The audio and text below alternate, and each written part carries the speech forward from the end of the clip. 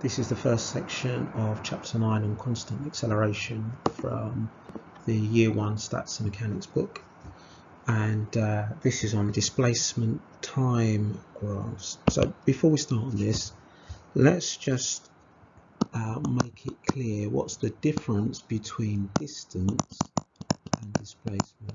Now distance is the total um, to use the word distance, total distance uh, covered. Okay, whereas displacement,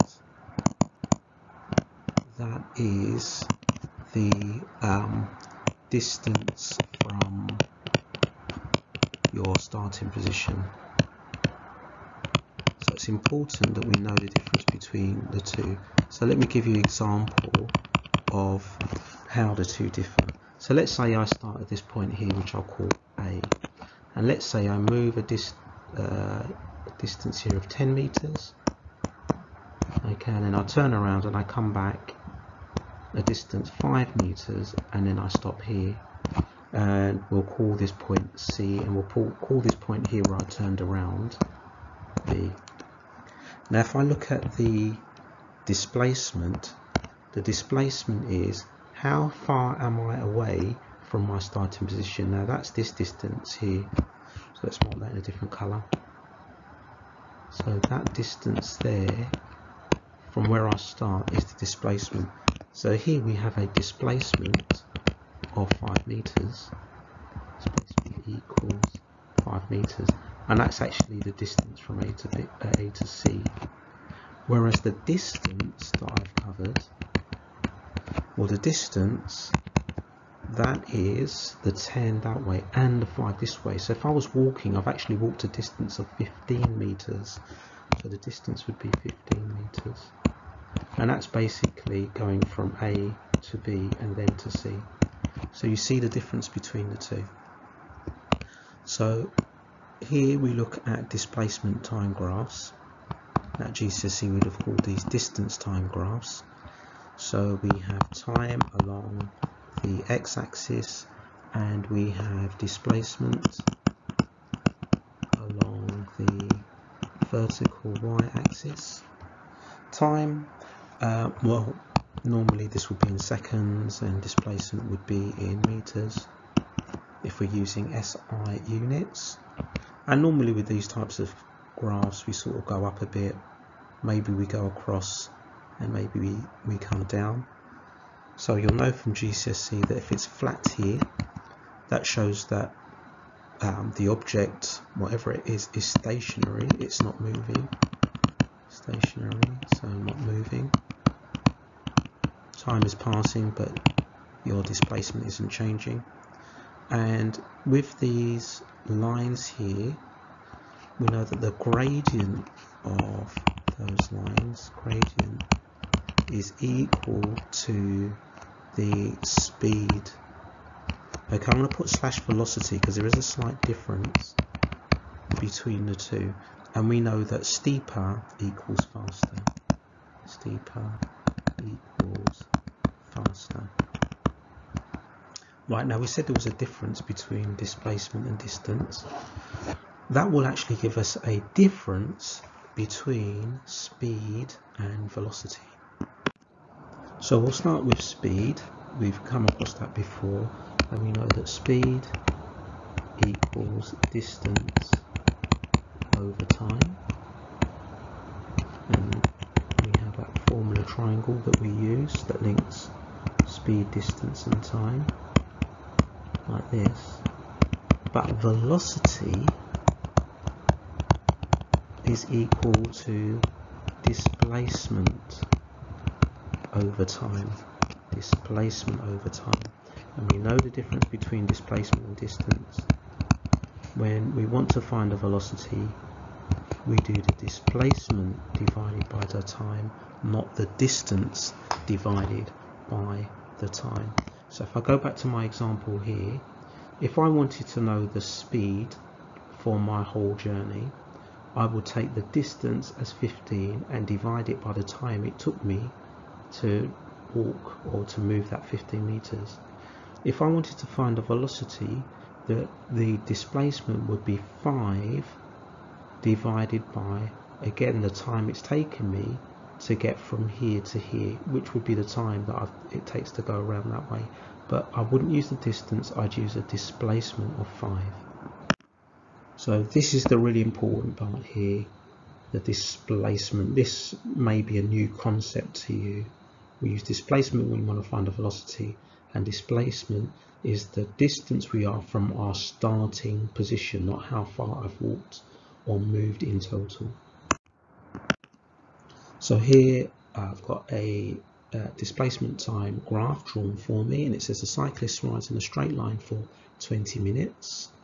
She waits for half an hour, then returns in a straight line to her starting point in 15 minutes. This is a displacement time graph for her journey. Okay, so this is where she cycles for 20 minutes and then she waits for half an hour. So that's that part here. And this is her returning to her starting position in 15 minutes. In part A, it says work out the average velocity for each stage of the journey in kilometers per hour. So we'll start with part A and um, maybe if we call this part down here O. So we're going to work out the velocity for the part of the journey that goes from O to A. Now velocity remember is going to be displacement over time. So what's the displacement from the starting position? Well the displacement is going to be 5 she's 5 kilometers from where she started. And the time here is in minutes.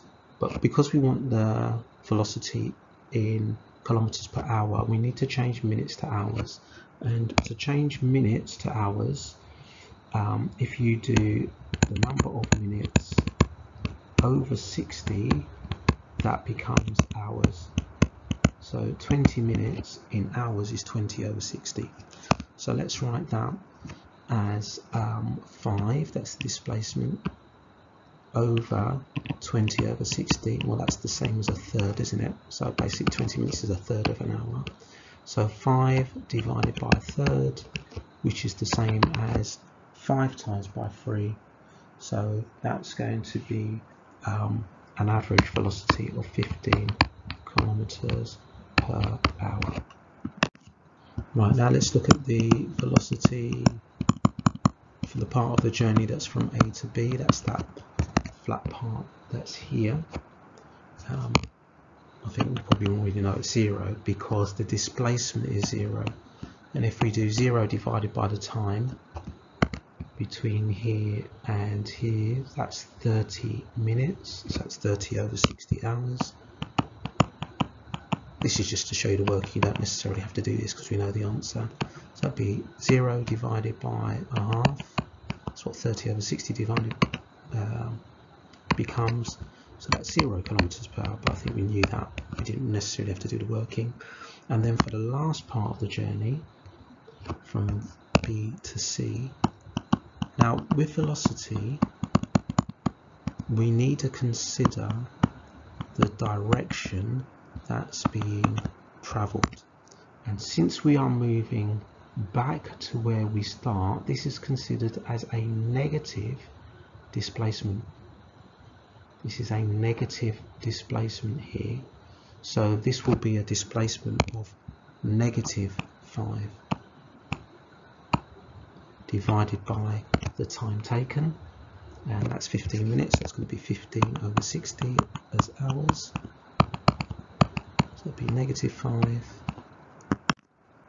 divided by let's quarter so that's the same as negative 5 times by 4 so negative 20 kilometers per hour. So we wouldn't get this with speed we wouldn't get a negative but we get it with velocity. So the important point to take from this is that the direction matters.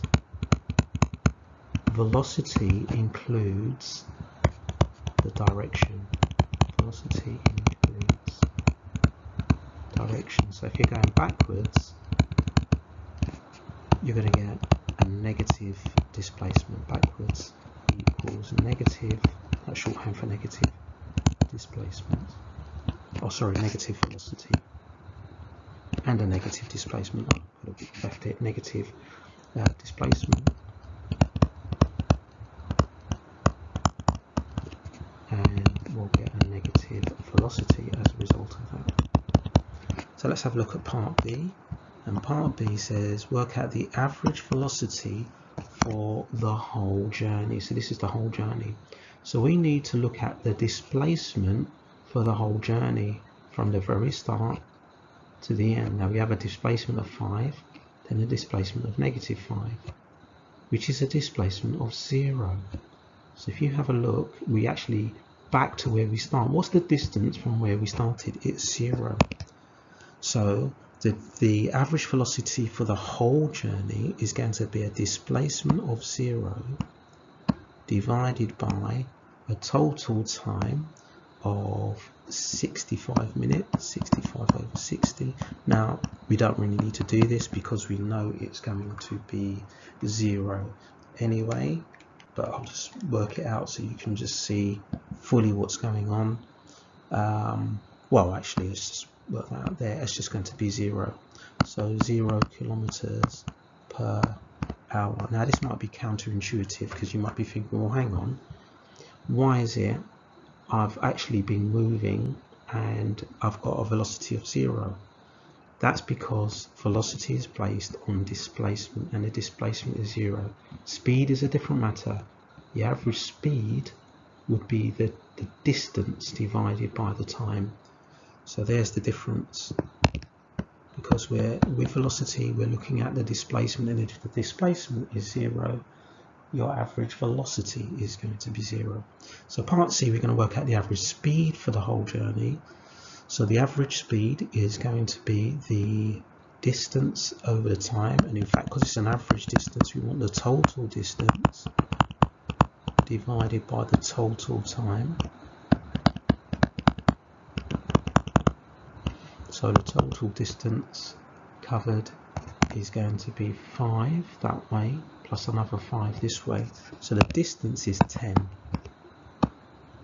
And the total time, well that is 65 minutes, so 65 over 60.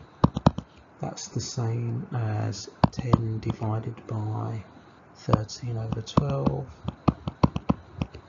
or 10 times by 12 over 13 so 10 times by 12 over 13 and we get 120 over 13 um, exactly 120 over 13 that's what the exact value is uh, in kilometers per hour.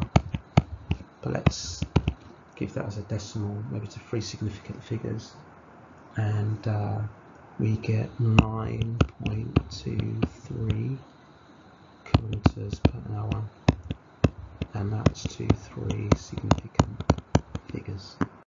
So you should now be able to do exercise 9a on page 132. So quick recap. We want to just talk about the difference between distance and displacement. So distance, that's your total. Distance covered.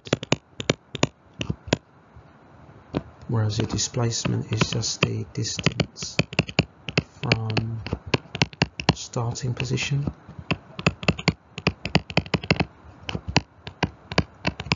If you are moving backwards